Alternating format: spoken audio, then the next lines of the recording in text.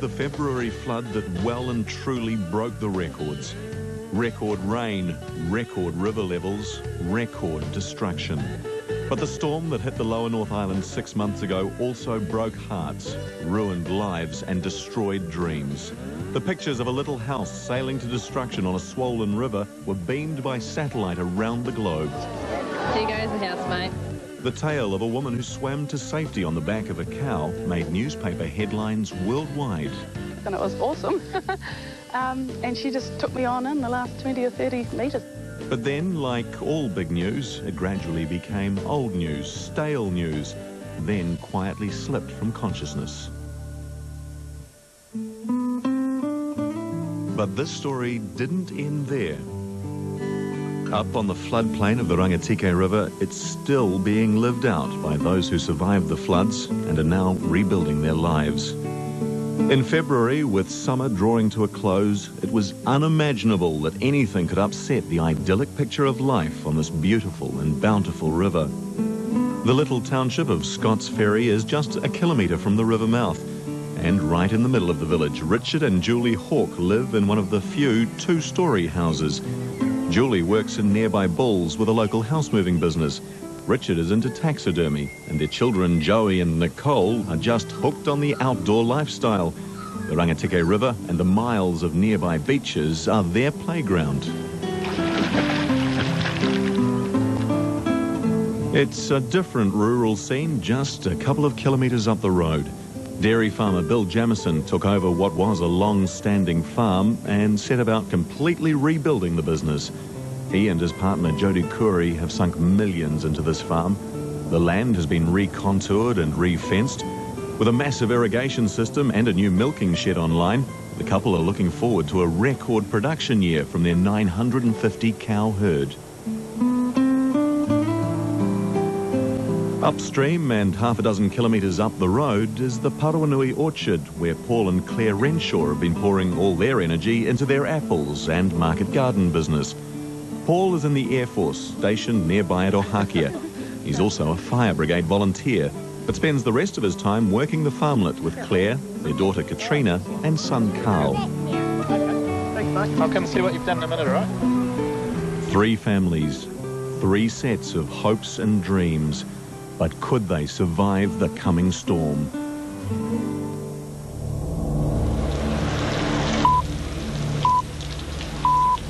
Radio New Zealand News at 7 o'clock. Good morning, I'm Stuart King. The Met Service says drizzle has begun to fall again this morning in the flood-affected Manawatu region as a fast-moving front makes its way up the country. The Met Service says between... I was quite concerned because of the fact that it looked like the system had the potential to be even deeper than we were anticipating. Met And Service forecaster Andy Downs did not like the way things were shaping up. But this storm certainly did have some indications of, of looking like it was going to be pretty nasty, particularly in the way of wind. And it was those strong winds that drove the rain in. Um, the area that we probably had not anticipated was the extent of the heavy rain which occurred to the north of the Rangitikei catchment. The rain was already fairly steady there and it looked like it was going to continue on. And it was for that reason that I upgraded the, the watch to a full-blown warning in the evening.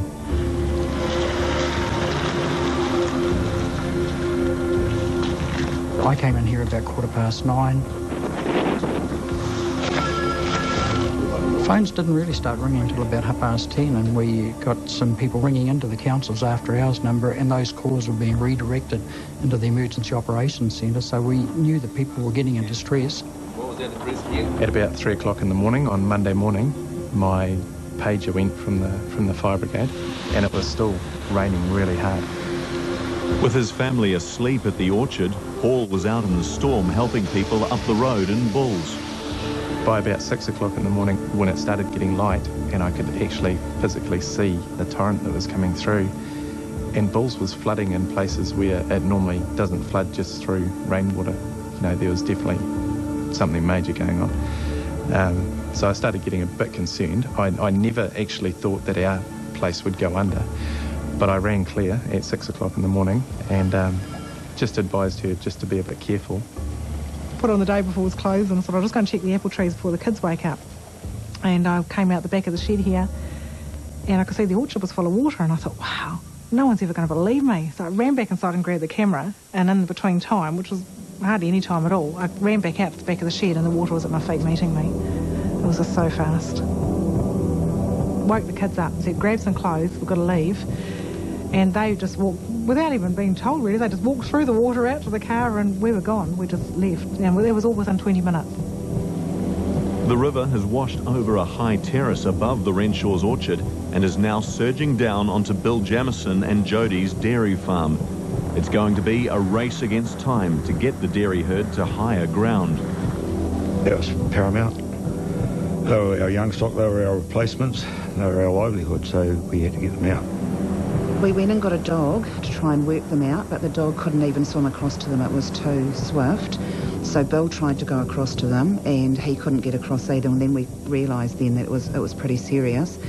There was really little we could do. We couldn't get to them um, swim. The flood surged on. Up ahead, hemmed in by the stop bank, lay Scott's Ferry and the Hawke family, who still hadn't woken up to the catastrophe heading their way.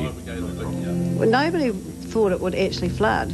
Like it was just, oh, the river's up, and we've seen it up heaps of times, so it was nothing unusual. That night I was up probably twice that night just with the wind, you know, blowing hard, and yeah, in the morning sort of had a look at the river, and it was pretty well up.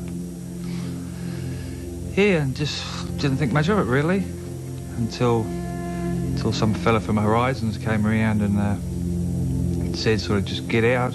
And I said, really, you know, serious. And I went outside and there was a fire engine going up the road and people running from door to door telling people to get out. And um, I sort of didn't really believe it. Yeah, I thought we'd be home by five o'clock, you know.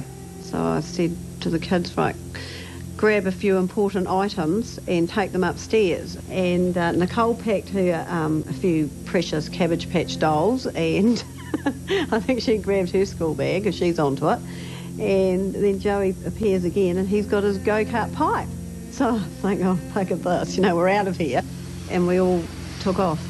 that was it, basically. Didn't sort of take anything or do anything.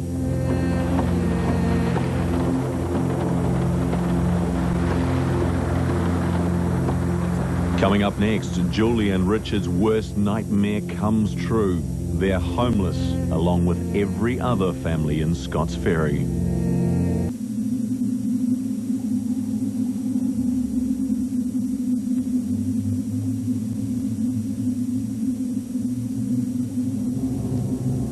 By Tuesday, February the 17th, Scott's Ferry has been officially declared a disaster area. The settlement, abandoned and inundated, the evacuated houses uninhabitable under a flood of silt and sewage. Worse still, the floodwater is now trapped behind the river stop bank. With no runoff, no escape, it's like a gigantic stagnant pond.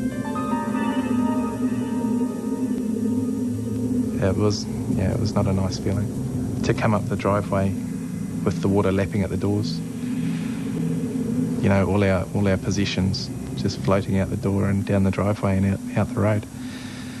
Um, yeah, it was pretty tough. I, I stood in the middle of this room with an absolute sense of total shock. You know, this can't be happening. This just cannot be happening. This is our dream. This is our home. Bill Jamison is taking stock too. His new dairy is underwater and the cows are trapped by the rising flood. We went up in a helicopter to have a look at the farm, and uh, with the help of the helicopter and boats and people, we cut, cut the fence and we got them out through onto the forestry tracks, up onto a neighbouring farm. And uh, on the Tuesday, we had people ringing from all over, trying to, you know, wanting to know if we, they could help us in any way or form. Dairy farmers were ringing up, wanting to take us, uh, would take you know, 20, 40, 100. As the nation becomes aware of the extent of this disaster, ordinary Kiwis send a flood of money and goods to help the victims. The Bulls Town Hall is inundated with household goods, furniture, crockery, cutlery, pots and pans, curtains, whiteware, electronic appliances. There are also piles of donated tinned and preserved food. It's like a gigantic garage sale, but everything is free for those in need. Yeah, something like this brings everybody together, I think. Yeah, it reminds me of the war. I come from England and it was just that same feeling, yeah, during the war. Yeah. Of course. Yeah. You know, you get some cold nights. I know you time. do. Oh, yeah.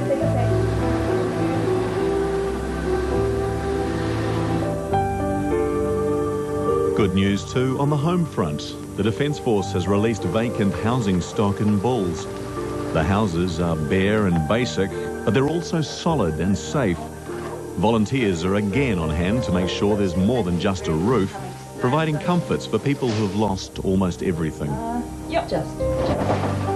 People like Kim, they come in, they put things away in the cupboards, and so that when the families or, or um, people walk in, they have food, they have um, a shower curtain, they have towels and soap, anything that you could try and think of that these people might need, especially because they're coming in from days and days of mud and slush, and you know a sense of what's what's our future. I, I just hope that if it ever happened to me, you know, people would pull together as well. It's the main reason why I'm really doing it. And if you can't help your own, then who can you really help, eh? With nowhere else to go, the Renshaw family moves into an Air Force house. Oh, that's where you are. I was looking for you everywhere this morning. Oh, man, I looked you in the pantry. Obviously, we've got other people's furniture, other people's beds. Um, yeah, we'll just, like I said, it's a roof over our heads. A friend's farmhouse near Bulls becomes temporary refuge for the Hawkes as they wait for the flood to recede. It's not actually getting caught in the flood that's the worry. It's, it's you know, facing all the mess afterwards and the upheaval in everyone's lives. That is the township of Kauangaroa, 15 k's east of Wanganui. Tonight, As the stories and the pictures of the floods fill the news pages and television, mainstream New Zealand digs deep to help the homeless. The Home Show alone raises $1.3 million for the flood victims. that's for the flood people. That's nice of you. While the money streams in, there's no immediate help for Scott's Ferry. Power lines are down, no one can get here to repair anything, and the water's just blocked in by the stop bank. It's being held and it's a big lake here. Worse still, Parewanui Road, which links the ferry to Bulls, is cut by a washout. That means that local government, civil defence volunteers and contractors can't reach the township. Okay, well, we'll we'll just have a quick, quick start. Morning, everyone. Meeting in an old schoolhouse, the locals take the situation into their own hands. That's the only option we've got. Farmers like Bill Jamison and Paul Renshaw can't wait for outside help. Hugh Dalrymple suggests they use farm machinery to cut the stop bank and drain the flood back into the river. It's a drastic measure, but it's the only way to get the water out of town and off drenched paddocks. So that we could cut a channel. Uh, yeah, no, I'll be on my way shortly, folks.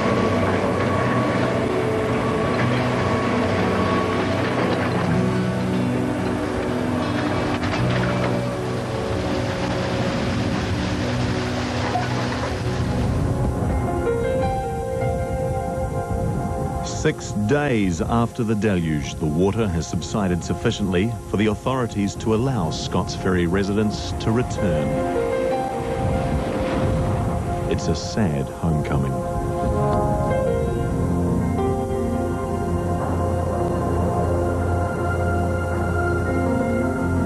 Remember, we've had five days to contemplate what we're going to find here. So, yeah, no, we're, we're uh, accepting, I suppose, that we just need to get in here and clean up. But we're lucky. We're young. We've got lots of friends and help. A lot of the older people here have taken it really badly. Just the personal things, your papers, our passports. We have to go through all that rigmarole. Just takes another year out of our lives, though. If they're going to take 12 months to put us back into where we were, we're a year Another- older, aren't we? And that's, if I've only got, say, 10 years, I'm only going to have nine, aren't I? Yeah.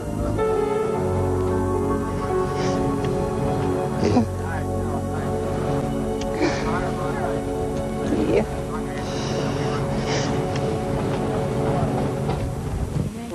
Returning residents have barely had a chance to assess the damage when there's a surprise visit from a top-level delegation. It's something that's on the TV screen, but until you come and actually see it and see what it's meant to families, you don't get the full picture. This could be my parents, could be my home, could be any of us. And I think we all deeply empathise with people that this has happened to.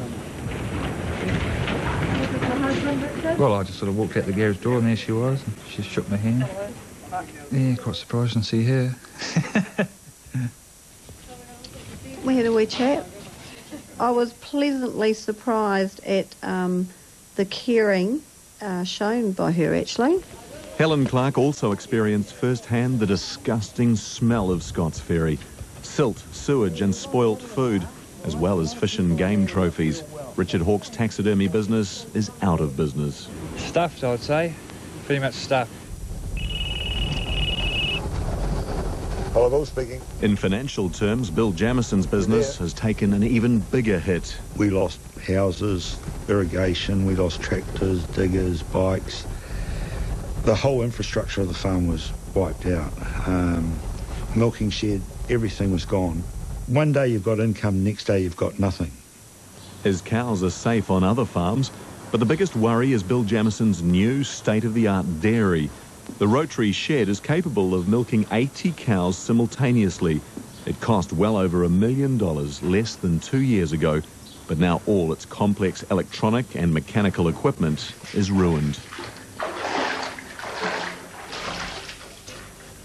We've cleaned up all the silt and tidied up the shed we best we could, but we've got no power, we've got no water, we've got no farm water, we've got... Yeah, it's uh, just a bit daunting, actually. The silt's got in, and and there's no guarantee on it in six months' time with the silt in there, it'll just wear the bearings out, so all these bearings have to be replaced. These are the brains of the outfit here. Uh, all this has got to be replaced. Uh, we're talking upwards of over $300,000. It's something that we could have done without, but that's Mother Nature. That's Mother Nature. The ground is too soggy to do anything, and besides, the workforce faces a housing crisis. All the farm cottages have had the flood through them, and only the main house remained high and dry, but it got pretty crowded. Having that many adults in the house not being able to flush toilets and things like that meant initially I just went and got buckets of flood water out from the paddock and we just used that to flush toilets until we got something hooked up with a generator. And we were lucky we had gas in the gas barbecue, so that was cooking. And yeah, and we're lucky it was a big house because everybody kind of had their own room.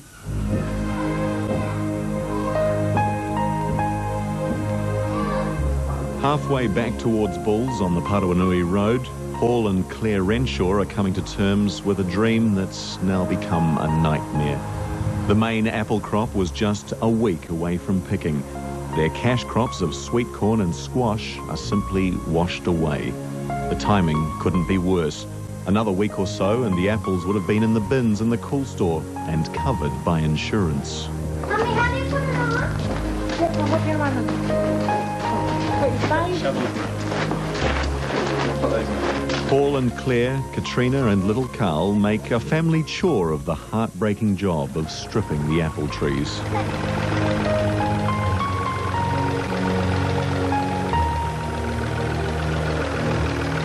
The spoiled fruit is only fit to be fed to sheep and cattle.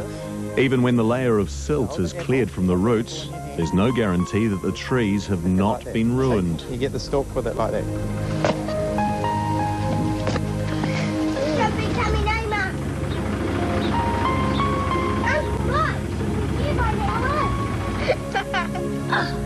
You hold on to one end, I'll hold on to the other.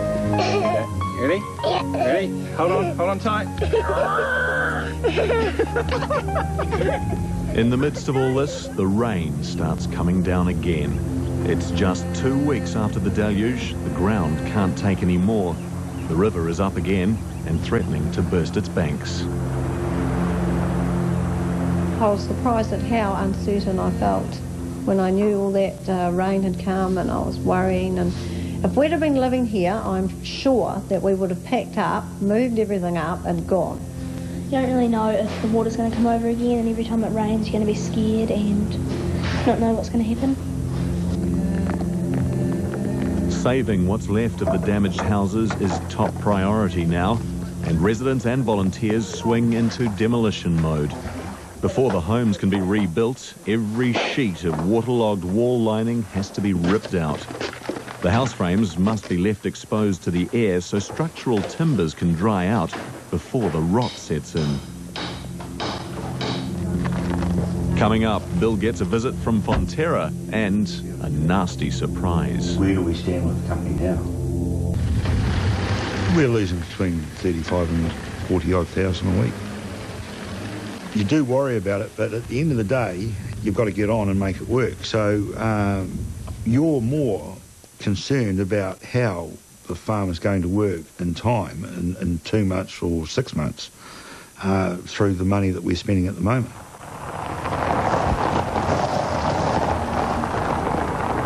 Bill and Jody have been looking forward to the arrival of this visitor. They're hoping that Robert Dabb, a senior Fonterra manager, will throw them a lifeline. We had about half a dozen staff here living because we've lost two houses. Okay, it's two weeks since it happened, but it really hit us on Saturday night when everybody went. And she basically caught up with us, and we thought, well, hell, we're in we're in we're in dire straits here. So that's why we've called you in. The company hasn't come up with anything. To From the point. Giant Dairy Corporation, there's sympathy but little consolation. Fonterra offers just 10 days payment, covering the period that the milk tanker couldn't get to their farm gate. But if we could get to the farm gate, yes, and either the tanker tracks in disarray or there's no milk at the dairy, yes, then that's when it's got to stop. Well, we're two weeks down the track, Robert. Where do we stand with the company now? Okay, and if it, from there from now on, you could say if there's no milk to come, we obviously won't be paying for it. Yes. It wasn't your fault we couldn't get down the road. Yes. Obviously not your fault that you've got 140 hectares underwater either. No. But there's a, a line sort of basically at the farm gate that the company draws. So, you know, looking at that, it's, we're, we're down the tubes 400 and, over 400,000 straight away. Yep.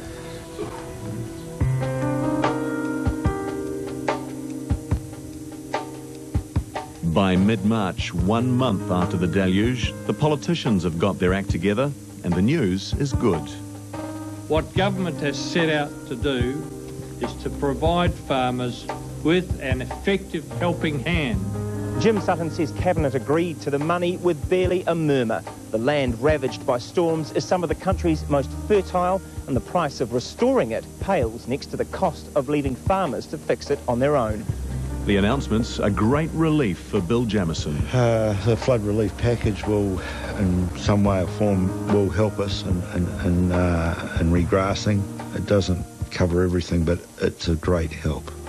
But for the Renshaws, the farmer's package is no comfort. Compensation only cuts in above a $10,000 threshold. To whack a $10,000 excess on that, we believe is, is unfair. Um, we've got a, a fairly small block, but but we rely on that money. You know, that's that's a huge chunk of our of our yearly income, and to not kind of get any assistance from the government is sort of a bit gut wrenching. It feels that um, they've catered for the residential people and they've catered for the farms, but they've sort of missed out the small block holders in between. The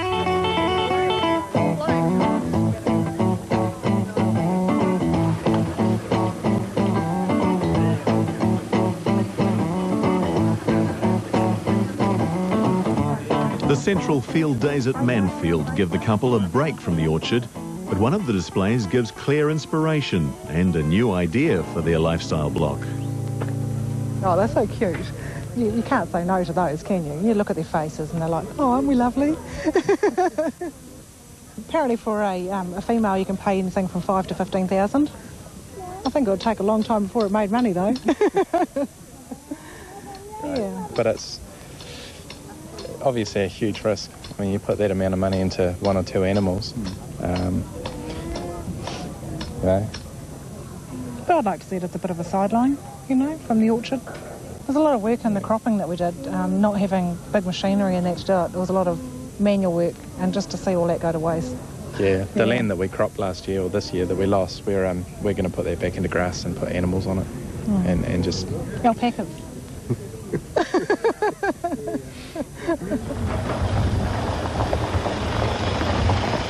The waterlogged pasture on Bill and Jody's farm means that it'll be months before any of their widely dispersed dairy herd can return to Scott's Ferry. But morale is boosted by the arrival of a group of Taranaki farmers. They are willing to listen and promise to return and help get the farm back into production. Absolutely unbelievable. Ooh. Didn't think it was like this. Four buggers. We parked the boat in here and just walked, you know. no, we sort of came in the, through the window. so you're lucky you got a boat? Oh, uh, we haven't got a boat, but neighbours here, thanks. You getting one? Sorry? Yeah. Are you getting one? it's, on, it's on the shopping.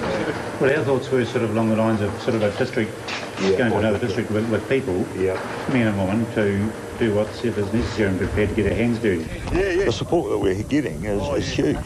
They don't have to come down and they just want to see what they can do and once we get a bit further on and, and you know, they can make things happen a lot quicker. Yeah, it's, uh, it's quite heartening actually. Obviously, you can see the water's got running around this eye here. Just pin that back in. Once I've sort of got them back in shape again, I'll just just uh, just will paint up the nose and round the eyes, and yeah, she'll be good as new. It's a big blue nose. Uh, Thanks to that marvel of modern technology, the water blaster, most of Richard Hawke's taxidermy is salvable, but the rest of the tools and house contents are history. Get any of those back. Yeah. Thinking about not going back actually opened up about another 100 cans of worms. So the easier um, thing is probably to go home. If we can get home in three months, uh, then Richard can get his business going Yeah. um, quicker, and that's really important as well.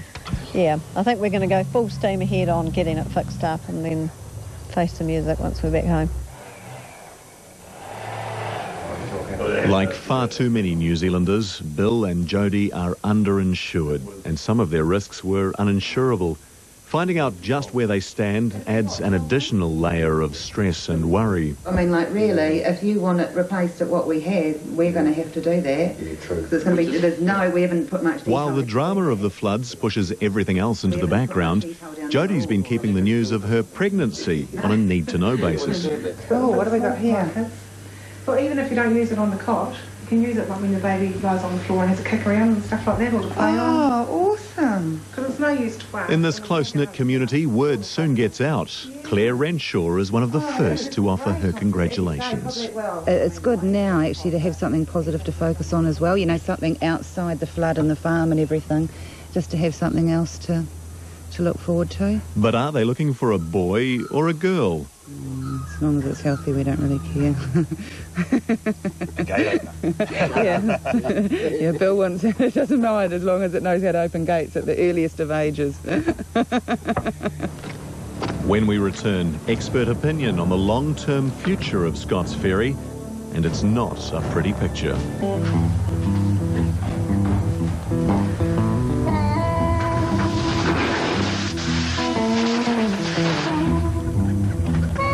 Back at Scott's Ferry, Julie Hawke is going full steam ahead, getting her home shipshape. I'm very tempted to get um, the moisture man down here and do some tests maybe in one more week because they told me that I had to wait three weeks from when we got in here.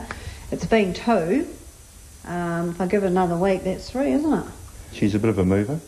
She's not one to sit around and let the uh, grass grow under her feet. I've got everybody's cell phone number, home numbers, after hour numbers. I'm on the Malo. Yep. and, and, and that gets results. Yeah. You know, I have good contacts for builders and plumbers and everybody, electricians, and, and they're all really good to me. And they've all raced down there and done what has to be done. Julie has also decided that the flood has provided the opportunity to make over the family home. The pain of the flood is eased by up-to-date and comprehensive insurance cover. See, I hate that mustard. we'll end up with a brand new house. I mean, that's all very nice, but if you asked me if I would have it happen so I could have that house, I'd say no. I'm really happy with that. Yep, that's the one. Yep, okay. I'll write down the name of that one. When I want something, I get it straight away. Sorry, I'm being evil. The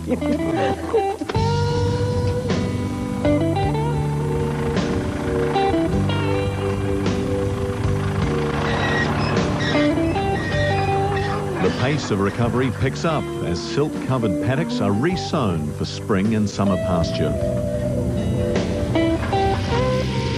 With his taxidermy business washed out of business for the time being, Richard Hawke is able to divide his time between helping on neighbouring farms and supervising the demolition work on the family home.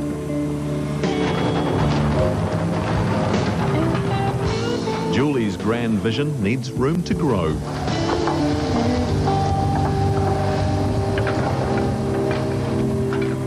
A neighbour who drops by to help is motorsport legend Chris Amon.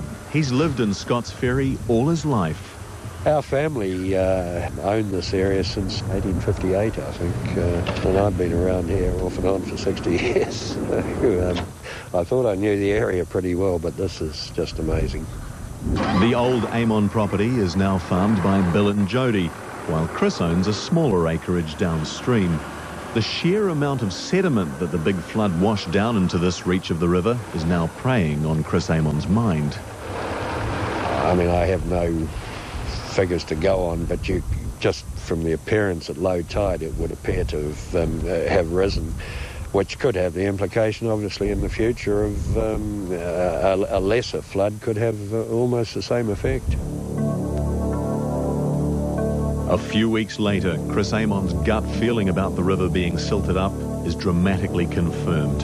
Landcare scientist Dr. Troy Baisden has been investigating just how much debris was swept down in February's flood. At its height, he took measurements from the Manawatu River at Palmerston North. We found that there was 28 tons of sediment going underneath the bridge every second. That's the equivalent of three 10-ton trucks going down a three-lane motorway so that th three trucks are passing you every second.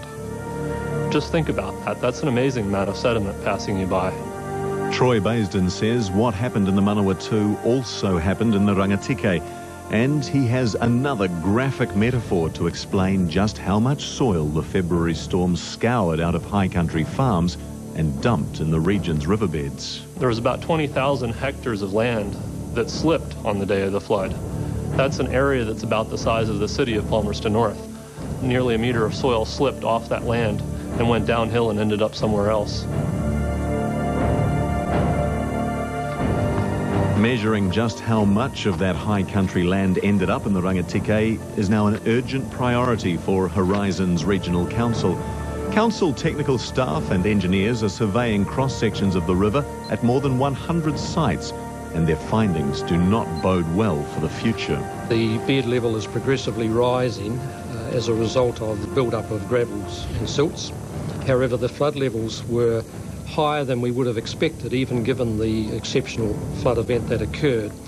And uh, we suspect that there has been some further uh, significant loss of channel capacity. The Rangitikei is silting up, and the limitations of flood mitigation works are graphically illustrated by a June storm. The river is up, the floodgates are closed, and Bill Jamison's newly sown pasture is underwater again. Once the river rises, the floodgate shuts off, and this this just starts banking up. And, uh, and this is the highest I've seen it for uh, for three years since we've been here. And uh, yeah, it's not the nicest of sights, but what can you do? You're just going to, you know, you can't do a damn thing about it. So uh, yeah, you know, you just got to fight on. It's something that needs to be dealt with. It's it's you know, as far as I'm concerned, for me and my family and for the community, you know, it's it's a crisis. And every time it rains, you know, we're thinking, God, what's going to happen this time? When I came down the road and saw the river bursting its banks again, it was just utter panic. You know, how long do we have to live with that? Which raises the question, just what can be done for the many places in New Zealand like Scott's Ferry? Dr Troy Baisden reckons that communities can be proactive. It may mean that you need to ask for higher stop banks or better stop banks. banks. It may mean that you need to hold insurance. Um, it may mean that you need to lobby the government to help insure you. There, there are a lot of possibilities there. The long-term solution probably lies in encouraging better high country farming practices. More than a century of land clearance for grazing has left the ground acutely prone to slippage. Environment Waikato has just created a plan called Project Watershed, where ratepayers who have farms in hill country that lose a fair amount of sediment into the Waikato River system actually pay more if they could institute practices that would reduce the flood volume or the amount of sediment their farms are releasing. If they clean up their act, then they pay less. Back down at Scott's Ferry, the river and the flood take a back seat to the Hawke homecoming. Julie Hawke is determined that nothing's going to rain on her parade. Have you got your dock down? Are we going to have to put a thing in here, do you think? The skies are grey and it's a little damp, but the great day has finally arrived. The family are moving back just 16 weeks after they were forced to evacuate. Got to go up there. As usual, Julie has organised the move with almost military precision. Are they both coming in here? Yeah. Wave upon wave of tradesmen, contractors and suppliers attack the problem. And whenever the advance slows, Julie's there to urge them on. And then you get under it. People go up the top.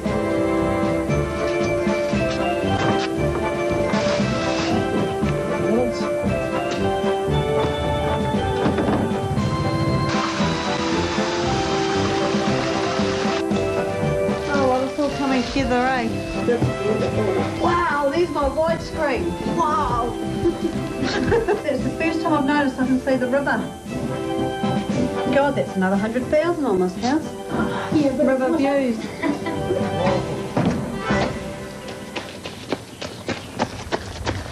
It's a very different story up the Parewanui Road. Work on the Renshaw home has all but stopped. The mood here is one of deep frustration. We thought that we would be back in the house before the middle of winter.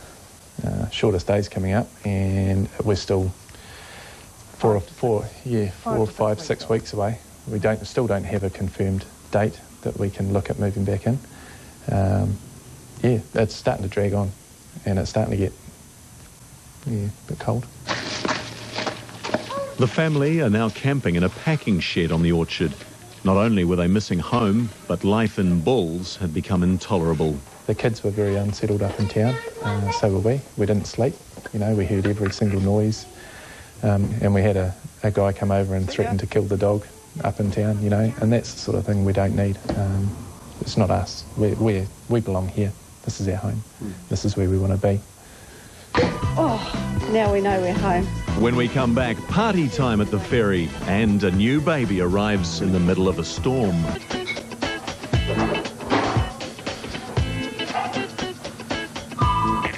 Oh, now we know we're home. It's party time in Scott's Ferry. The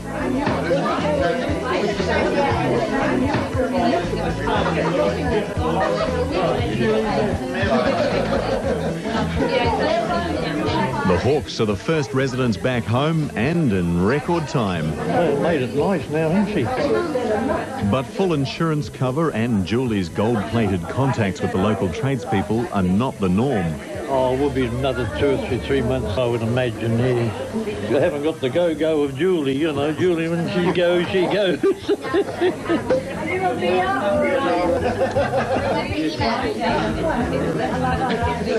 The vast majority of other Scott's Ferry families are still out of their homes, and it's causing stress and more than a little heartbreak.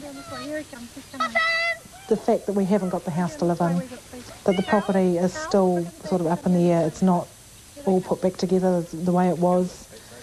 We, you know, we are feeling the financial strain a wee bit. We haven't been able to get all the fencing and things done that we'd hoped to get done. You just, yeah, you feel like giving up. Yeah.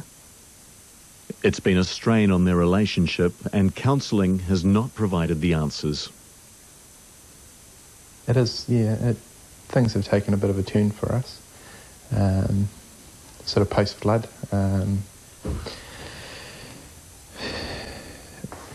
yeah, it's, it's been pretty hard actually. It's, it's a lot of strain, a lot of stress. Um, everyone's had to deal with it.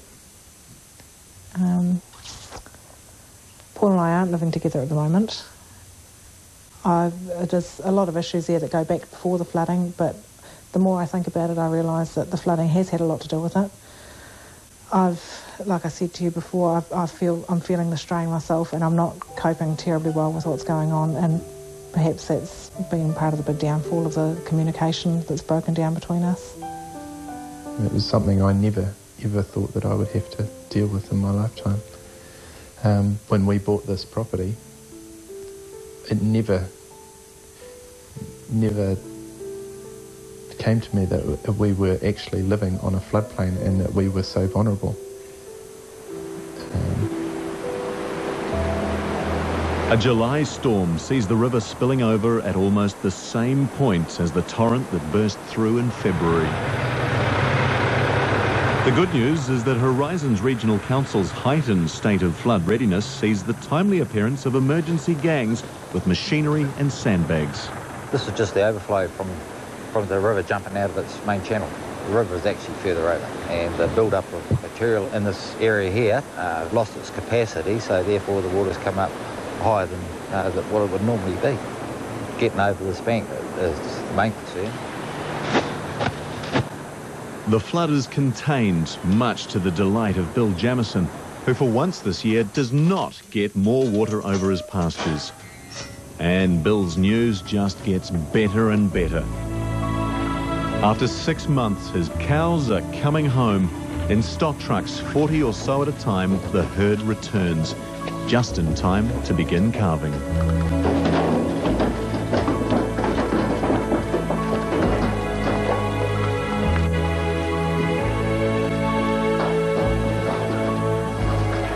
good to see them back. And you know, uh, okay, there's a bit of work to be done on them, but uh, I suppose in general they're not too bad. Um, they've been away for such a long time. Since the flood, and they've had a hell of a time. They've uh, seen more trucks in the last six months uh, than I would think a cow would see in their lifetime. So, uh, yeah, it's good to have them back. I suppose there's about 300 up the road, so another 500 to come back. Kidding me. Oh, okay. Great day. Yeah. Okay. Yeah, see you later. Best of all, he's a new dad. Matthew arrived with the new month, and Jody reckons that this little future gate opener is a real chip off the old block.